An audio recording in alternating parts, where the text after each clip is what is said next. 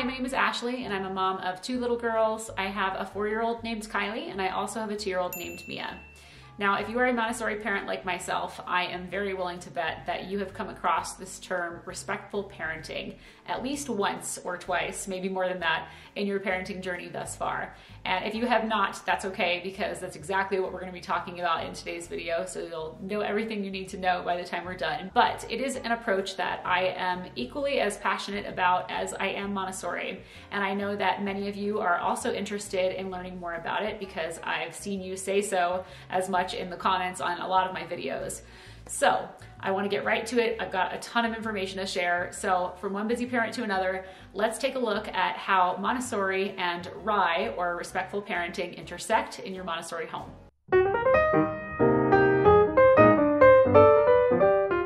Okay, so let's start off with a quick little background and disclaimer. So my familiarity with respectful parenting, otherwise known as RIE, which stands for Resources for Infant Educarers, actually began a couple of years ago when my first daughter was about eight, nine months old, kind of when I started seeing the verge of toddlerhood on the horizon. I came across Janet Lansbury's website, who is a RIE associate, and I started listening to her podcast Unruffled, which, if you have not heard, it's amazing. I would highly recommend it. I started reading her books and her blog articles, basically anything I could get my hands on to learn more about this idea of respectful parenting. But over the last couple of years, as I have learned more and more about Montessori, I have really come to see how the two approaches really dovetail quite nicely with one another. And I knew that I wanted to take my own understanding of respectful parenting to a much deeper level. So I decided to enroll in the RIE Foundations course, which is a 12 week intensive training. It's actually called RIE Foundations Theory and Observation. It is a course that is offered by the RIE organization itself, and it's their very first step on their own pathway to certifying their RIE associates. And so I was really excited to be able to actually learn about it, you know, from the source itself. So I just recently completed the course a couple of weeks ago and it was such an incredible experience. I am so thankful that I had the opportunity to be able to take the course in the first place. Would definitely recommend to anybody who has the time and the resources and the drive to want to dive a lot deeper into RIE and respectful parenting. Um, but here's the disclaimer, just because I completed the course does not certify me as a full-on RIE associate. So the things that I'm about to share with you in the video today are not officially on behalf of the RIE organization. I'm not trained to train anyone else about RIE. I am merely sharing with you my personal takeaways, the things that I have learned about RIE, respectful parenting, and especially how it applies in a Montessori home, because that is how I am applying it in my own home environment. Now, before I go into all of the similarities and differences between Montessori and RIE, which is the point of this video, I do want to give you just some of the basics on RIE so that we're all caught up and kind of on the same page here to start out. Now, if you don't know anything about Montessori either, then I would highly suggest going down into the description box after this video is over and watch my Montessori basics video because that will give you everything you need to know to get started with learning more about the Montessori approach. But here we're focusing on Montessori and RIE and kind of how they intersect with one another. So if you're wondering a little bit more about what RIE is before we get started, then here's what you need to know. So RIE stands for Resources for Infant Educarers. It was an approach that was started back in 1978 by a woman named Magda Gerber, and she actually brought all of her knowledge and experience with her to the United States as an immigrant from Hungary, where she was working alongside Dr. Emmi Pikler, who is a Hungarian pediatrician and the foremother, if you will, of this entire approach. Sometimes you will also hear RIE referred to as the educaring approach, which is based on a term coined by Magda Gerber. It's the combination of the words educator and carer, so educarer, and she coined that term to describe somebody who educates children in a caring way. Now, the RIE approach really focuses on the care of infants and toddlers specifically, but the principles are very much applicable to older children as well as teenagers and even adults, really. Um, but there are a couple of basic principles that are involved in this approach that are kind of always at the forefront of the educator's mind when they are interacting and caring for a child. So the first one is respect. I'm actually looking at the list of the principles right here in front of me because I want to make sure I don't miss one by accident. But respect is like the number one biggest one. as well as authenticity, trusting basic trust in the infant's confidence, as well as sensitive observation, and involving the child in all of their caregiving routines, a safe, challenging, and predictable environment for the child, making sure that you give them time for uninterrupted play, having freedom to explore, as well as consistency. And we're going to talk about each of these in my description here of the similarities and differences between RIE and Montessori. All right, so let's start off by talking about all of the similarities between the two approaches, because I think you will find, as I have, that there is a lot of overlap, especially in the basic ideology of the two philosophies, that helps them to really naturally complement one another. So the first one is basic trust in the child's competence. Both Montessori and RIE are very child-centered approaches where the child is viewed as a self-initiator, an explorer, a discoverer, and the adult is encouraged to follow the child's lead, to follow their interests, and to constantly be observing, looking for signs of the child's readiness, and to be ready to respond to those cues but also to ultimately respect the child's unique timeline of development. So they're not being rushed along to the next thing, they're not worrying about developmental milestones, they're just allowing the child to develop according to his or her own natural timeline and to just let it be for what it is. And then in both Montessori and RIE, because there is this basic trust in the child's competence, there is also this tendency to foster their independence, not as a means of making them grow up any faster or trying to turn them into little adults, nothing like that, but more so as a response to the child's showing us signs of being ready for that independence and respecting them enough to give them that freedom. Which brings me to my next similarity between Montessori and RIE, and that is a deep respect for the child as a whole person. So, in both approaches, we are trying to actively establish mutual respect between the adult and the child, no matter how young they are. We reject the notion of authoritarian discipline where, you know, the adult is the authority figure and the child must obey without any rhyme or reason. Instead, we're encouraging collaboration between the adult and the child while also maintaining age appropriate limits for the safety and the sanity of all parties involved. And so, in cultivating this kind of mutual respect between yourself and a child, comes this notion of authenticity, which is exactly what it sounds like.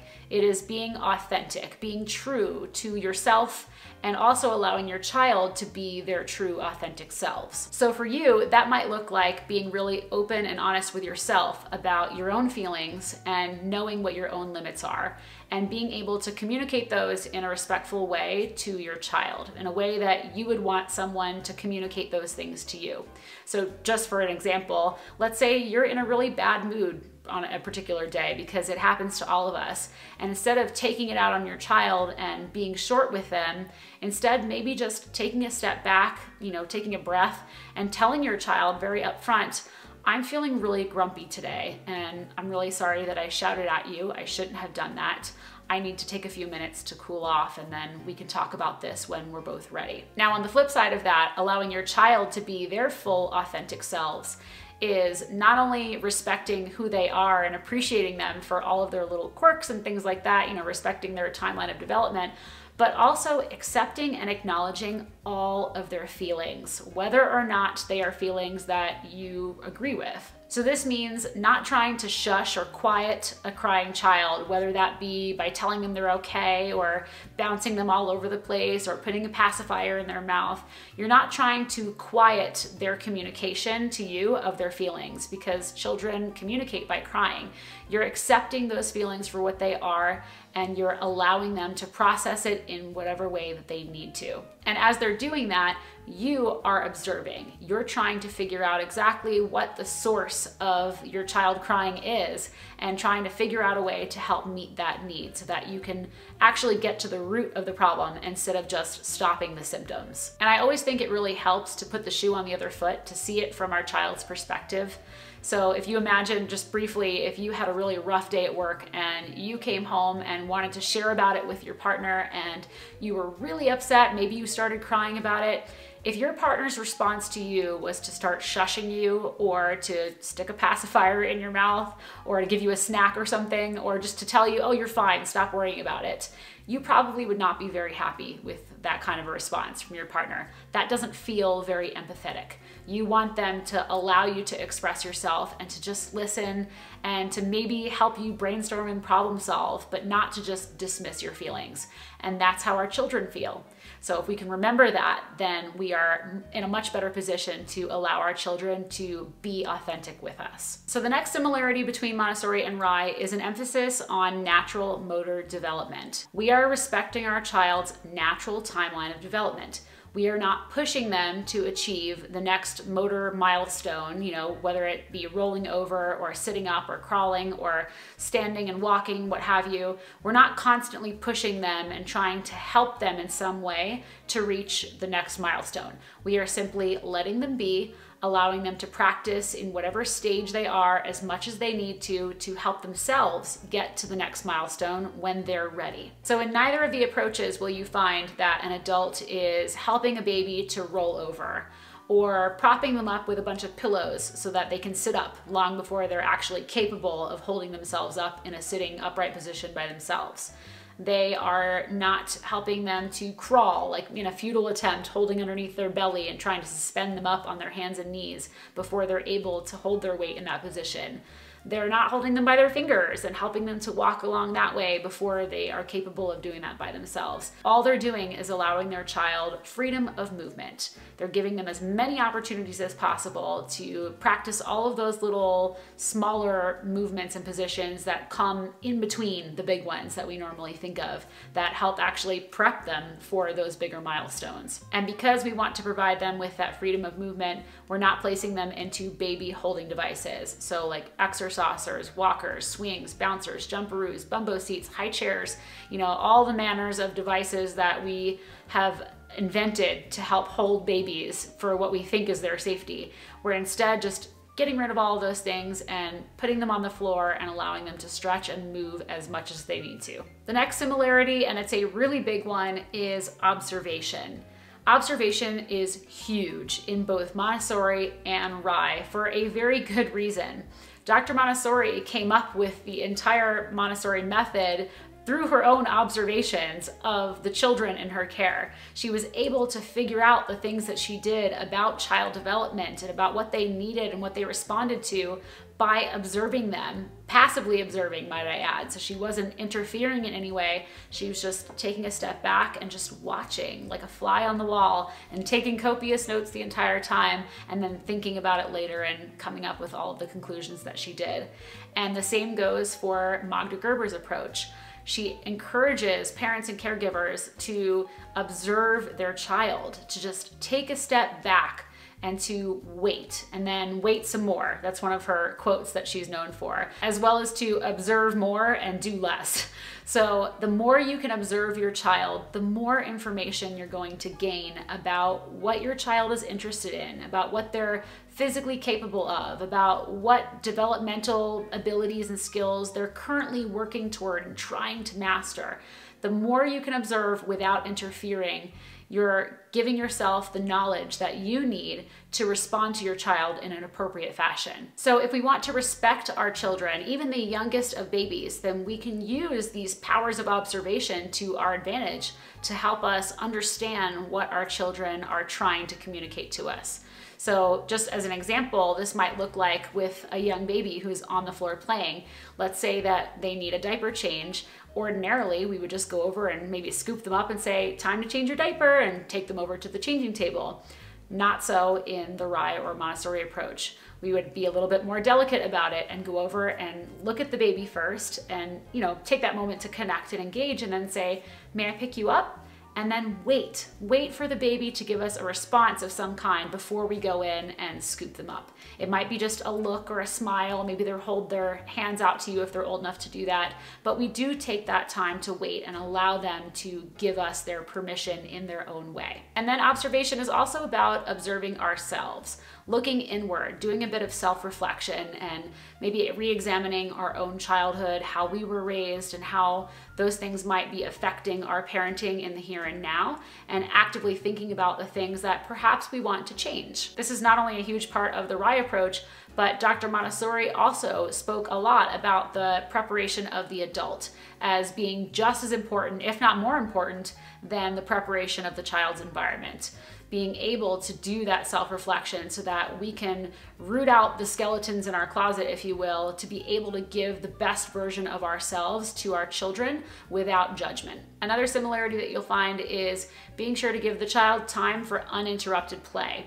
In both RIE and Montessori, this is huge. We want to give the child all the time that they need. We want to respect their process, the need that they may have to repeat a task as many times as they might need to, and to not needlessly interrupt with comments and questions and trying to insert ourselves into their play and almost take over their play as opposed to just sitting back and observing. In both approaches, we really want to try to protect the child's concentration so that we can help to build their attention span over time. Another similarity between the two approaches is a carefully prepared, safe environment that really helps to promote the child's sense of security. This way they have the freedom to explore. So in both cases, you'll find low open shelving that is easily accessible to the child, um, fewer but well selected toys, which we'll talk about in just a little bit. Typically, natural lighting is preferred um, muted colors, very minimal aesthetics for the most part, so as not to visually overstimulate the child. So you won't find much on the walls, maybe a few things here and there. And in a Montessori environment, it would be down low at the child's level, but very minimal. And then also ample space for movement. That freedom to move piece is very important in both cases. And speaking of freedom, another similarity between the two approaches is freedom within limits. Now, I don't believe it's explicitly called that in the RIE approach. That's what it's called in the Montessori approach, but the ideas are still the same.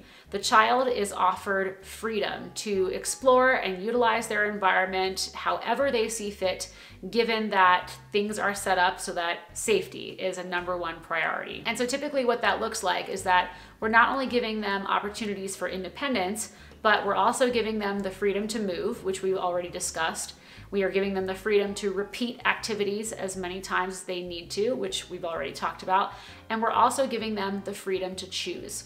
We are offering them a limited amount of choices, again, freedom within limits, throughout their day to help them feel empowered. So we're allowing them to perhaps choose what they want to wear in the morning from maybe two different outfits, or they're choosing between the red cup and the blue cup at snack time or you know they're choosing which bedtime story they want to have from a little basket that's in their room what have you. We're giving them lots of these little small choices that are reasonable and age appropriate. Related to this idea is the next similarity which is that children are viewed as active participants in their own caregiving routines even as babies now, in the Montessori community, this is typically called care of self activities. It's part of the practical life curriculum, where children are taking responsibility for the care of their own bodies from as early as they are showing signs of readiness to do so. And in the RIE approach, it is quite similar, I think, which is why I've got it grouped together as a similarity here for you guys. I think that RIE does take it to another level, which is why I'm also going to talk about it in the differences section. But for now, let's suffice it to say that both approaches view the child's participation in getting themselves dressed, in you know changing their diaper, in feeding themselves. All of those tasks are viewed as something that the child should be participating in. They should be doing it with the adult, in collaboration with the adult, as opposed to the adult just doing it to them constantly. So just as a quick example for you with getting dressed, even a baby can be a participant in this process. Instead of just placing the baby on a changing table and roughly shoving a onesie over their head and, you know, pulling their arms through the sleeves and making it this process that it almost feels like they're resisting a little bit.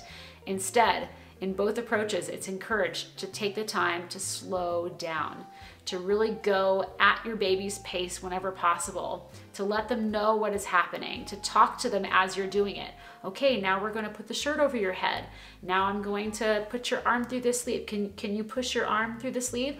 And giving them that opportunity to actually help you a little bit by, you know, stretching out their arm so that it goes through the sleeve and then switching. Okay, now we're going to do the other arm and really toning it down. Again, we're going to talk about that in just a little bit when we get to the differences section, but for now, I think you guys get the idea. Another similarity between the two approaches is the importance of modeling. So in both RIE and Montessori, there is a lot of talk about the importance of being conscientious of your own behavior, especially in front of your child. You want to be sure that you are modeling the behavior that you want to see your child doing. And so this means not only your interactions with other adults in front of your child, but also your interactions with other children and also your interactions with the child, him or herself. I think the basic rules of thumb here are that first, to remember your child is always learning from you at every single moment of the day in every interaction that you have, and also that your child is going to do as you do and not as you say. And the final similarity between Montessori and RIE is something that in the RIE approach is referred to as selective intervention. I don't know that it has a name really in Montessori, but again, the ideas are the same. You are trusting in the child's competence and their ability to be problem solvers. So you are not swooping in and solving all of the problems and conflicts for your child. Instead, you are taking a step back, you're being patient, you're waiting, you're observing, and then you're stepping in to offer them as much help as they need but as little as necessary, what Magda Gerber calls the smallest facilitating step. So essentially, you are making a concerted effort to not interfere unless it is absolutely necessary. You're giving your child as much opportunity as they can possibly have to practice figuring things out on their own and not constantly seeking an adult to help solve the problem for them. So this might be in an individual situation where your child is maybe frustrated over something that's not quite going their way. Maybe they're, you know, struggling to get their sock on their foot. Maybe they're working on a tower and the blocks keep falling over because it's not quite balanced. Maybe they've got, you know, like two stacking cups that are stuck together and they can't get them apart and, you know, they're getting frustrated you are selectively intervening at the right moment and not just jumping in and solving it for them or maybe they're having a conflict with another child, you know, two toddlers arguing over a toy, pulling it back and forth. No, it's mine. No, it's mine. You're not just going to jump in and play the referee and say, well, he had it last, so now it's your turn you're going to give them a chance to actually try to resolve that conflict on their own. Unless they're hurting each other, you're going to try to stay out of it as much as you can. And if you do decide to step in, that you're remembering to do so as neutrally as possible. Again, you're not the referee, you're just there to maintain the balance, to maintain safety while they figure it out amongst themselves. Okay, so those are all of the similarities that I could suss out based on my own understanding of the two approaches, and there were quite a lot of them. But there are also a couple of differences, and I think they're pretty important differences that we should talk about. And the first one has to do with the age focus for each of the different approaches. So the RIE approach really tends to focus on infants and toddlers, so from zero to three. However, the principles are most definitely applicable to older children, even teenagers and adults. And then on the other hand, Montessori, it was originally designed for three to six year olds, but over the years, it has been expanded to include the zero to three age group as well as older children all the way up through adolescence to adulthood. Another difference lies in one of the cornerstones of the RIE approach, and that is that a secure attachment is necessary for a child's proper development. Now, I feel like this could be implied with a lot of the things that are talked about in the, you know, real foundation concepts of Montessori too, but I feel like it's more explicitly called out in the RIE approach and there's a great emphasis on it. And so, especially with regard to caregiving routines. In the RIE approach, caregiving routines like diapering, feeding, bathing a child, all of these are to be viewed as opportunities for connection, times to be together and to enjoy it, not as a chore that needs to be gotten through very quickly so that the child can get back to playing. And so there is an emphasis on slowing down, making sure that you are establishing that connection by smiling, looking into the child's eyes, talking to them about what you're doing as you're doing it together, asking for their cooperation. always being sure to use your gentle hands at all times. There's actually a really beautiful quote that I remember reading in my RIE Foundations course that I just, it has always stuck with me and I don't think I will ever forget it. And I have it on my phone. I want to read it to you guys because it really impressed upon me the importance of this during caregiving routines. And the quote reads Hands constitute the infant's first connection with the world. Hands pick her up, lay her down, wash and dress her, and even feed her. What a different picture of the world an infant receives when quiet, patient, careful yet secure, and resolute hands take care of her, and how different the world seems when these hands are impatient, rough, or hasty, unquiet, and nervous. In the beginning, hands are everything for an infant. The hands are the person, the world. So I just, like I said, have never forgotten that quote. I hope you guys will find it as meaningful in helping to remember about slowing down during caregiving routines too. But I digress a little. So this is a really big emphasis in the RIE approach. Like I said, more so I think than is really expressly talked about in the Montessori approach, but is also inherently a part of it too. Related to this is another difference that I noticed, and that is in the RIE approach, outside of caregiving routines, there doesn't really seem to be much of a discussion of practical life work like there is in Montessori approach, especially with regard to toddlers. So, like I said, caregiving routines in RIE and what we call care of self activities in Montessori, I think those tend to overlap a little bit. Um, but outside of that, there really is no other discussion of the other kinds of practical life work that you might find in a Montessori environment for toddlers. And I think that's because in the RIE approach, there really is a focus on providing just a simple, open ended space for children to explore and play with no agenda whatsoever, all the way up through the toddler years, all the way up till they're three and they're ready to go to preschool. Whereas in the Montessori approach, practical life work, especially in the home setting, really does tend to get introduced in the toddler years. That is when they begin to become interested in helping out with practical life activities around the house, you know, like laundry, doing the dishes, sweeping, mopping, you know, washing windows, caring for pets and plants and things like that. That is when they become interested in it. And so you'll see that in a Montessori home quite often, and even to a degree in Montessori toddler classrooms. So it's not to say that I think there is a rejection of the idea of practical life work in the RIE approach. But from what I have gathered, it's more so of if your child is showing the interest, then of course there's no reason not to let them get involved, but it's not like a focus like it is in the Montessori approach. And while we're talking about the different kinds of activities that you'll find in a Montessori versus a RIE environment, let's talk about the actual materials that you'll find on the shelves in the play space. And so in a RIE environment, you'll find lots of open-ended materials or play objects as they refer to them as. Things that don't really have an express purpose and they can't be used in a particular way. They just can be used however the child feels inclined to use them.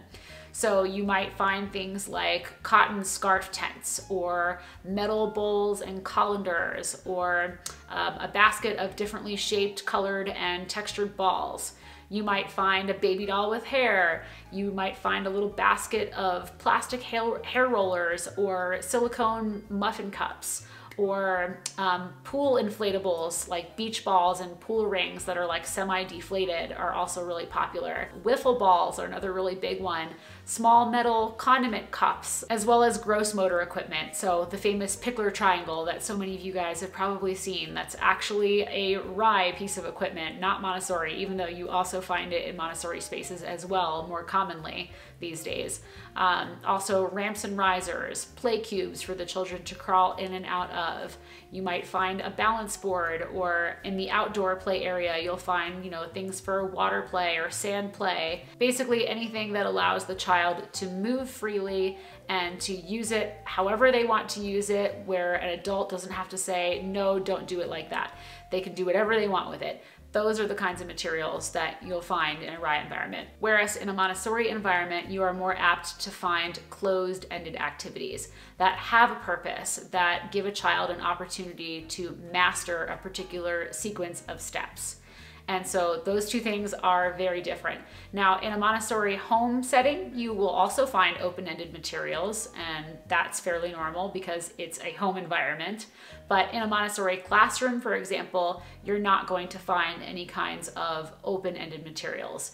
Typically, you'll find things that, again, have a very express purpose. So, a puzzle that needs to be put together, a basket of language materials with some cards for matching. You might find an object permanence box or an infant coin box with coins to post inside, or maybe a tray that's set up for threading or for sewing or for practical life work where they're pouring dry beans from one pitcher to another. There are, again, a sequence of steps involved for the child to do. And within reason, at times, depending on the environment, the child may be able to use these materials in other creative ways as well. But at the end of the day, there is a specific purpose to the activity. And then I also found it really interesting that in the RIE approach, it's actually suggested to not give mirrors or mobiles to infants. Whereas in the Montessori approach, there's an entire series of mobiles designed specifically for infants and a mirror horizontally placed along the floor in the infant's movement area is like a cornerstone of setting up that space for an infant. And in the RIE approach, the reasoning for no mirror is that it is confusing for a child who doesn't understand that it's a reflection.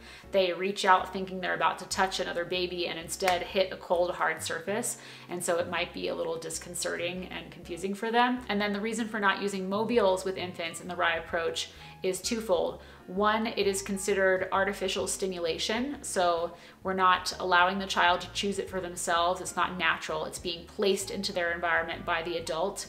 And again, might not be something that they would choose on their own if they had the ability to choose but also because it is viewed as something that might be overstimulating for the child if they're not quite ready for it. Maybe the mobile is too close to their face and they just can't see anything except the mobile, you know?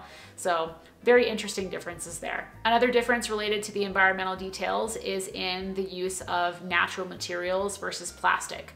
So in the Montessori approach, the preference is definitely for natural materials. So, you know, wood, cotton, silk, metal, ceramic, glass, things like that. And for the most part, plastic is to be avoided when possible, although we recognize that in modern day it's almost impossible to get away from it completely, but as much as you can. Whereas in a RIE environment, although natural materials are appreciated, plastic is just as acceptable to have. So a lot of the play objects that you'll find in a baby's play environment do incorporate plastic or are 100% made of plastic and that's not really a big deal. Another environmental difference between Montessori and RIE is in the use of gates. So I think it's fairly safe to say that in a Montessori environment, gates are not quite as common.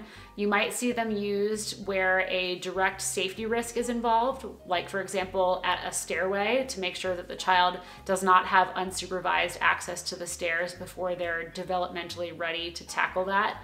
Um, or maybe they have a small gate at their bedroom for the purposes of keeping them safe in the nighttime if they have learned to open and close their door by themselves or maybe you have a large pet running around your house that you're afraid is going to step on the baby when they're you know having some independent playtime. And so you might gate off a room or an area to make sure that the animal doesn't have access to the baby in that way.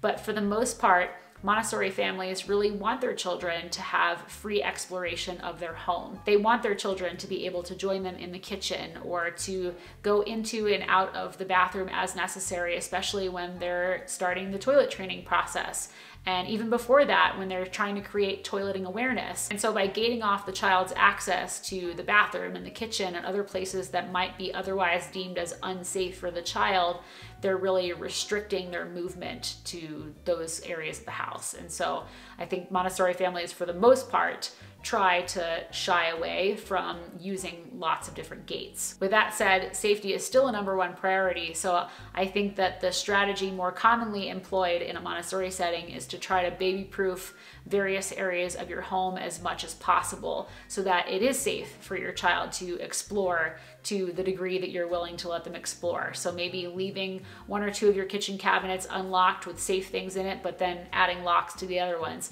This way they can still come and go in the kitchen without needing to worry about them getting injured.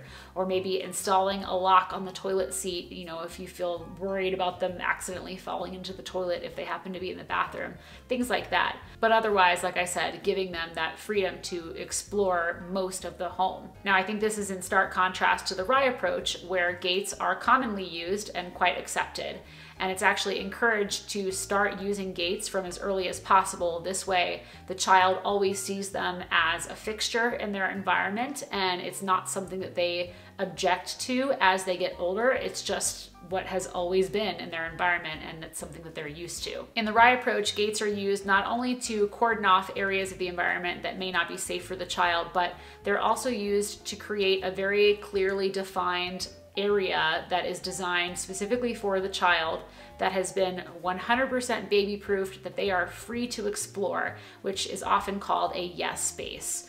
And I think the name kind of implies what it's for. It's supposed to be an area where you don't have to tell your child, no, don't do that. It is designed just for them. They can touch and climb and do whatever they want in that space safely. You know they'll be safe doing it and you can have that peace of mind. Another key difference between the two approaches is in the sleeping arrangements for infants and toddlers. So in the RIE approach, the traditional crib is used, and in the Montessori approach, it is encouraged to use a floor bed. So some Montessori families will start out their newborns in a bassinet or a Moses basket or maybe even in a crib, uh, depending on what they feel comfortable with doing. But eventually they do transition to a floor bed at some point. And the idea behind using the floor bed is that the child has the ability to get in and out of their bed of their own volition. They have that freedom to explore if they're not quite tired yet, and then to listen to their own body's cues and return to their bed when they actually are tired and ready for sleep. They also don't have the confines of the bars on the outside of the crib to obscure their clear view of the environment.